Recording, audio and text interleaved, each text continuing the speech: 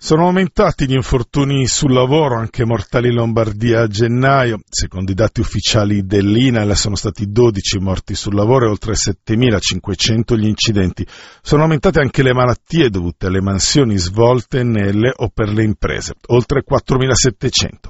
Sentiamo Eloisa D'Aquino della segretaria della UIL Lombardia. In Lombardia sono in aumento significativo le denunce di infortunio con esito mortale e le malattie professionali. Parliamo di oltre 7.500 denunce nel solo mese di gennaio con un triste primato in ambito nazionale di infortuni mortali, già 12 nel solo primo mese dell'anno. Questi dati ci dicono anche che sono i giovanissimi, i giovani più colpiti, segno che occorre potenziare non solo i controlli ma soprattutto intervenire sulla formazione, che troppo spesso risulta essere insufficiente e inadeguata. Occorrono investimenti e l'assunzione di personale dedicato alle attività di prevenzione e vigilanza. Su questo come Will continueremo ad incalzare Regione Lombardia, istituzioni ed enti preposti.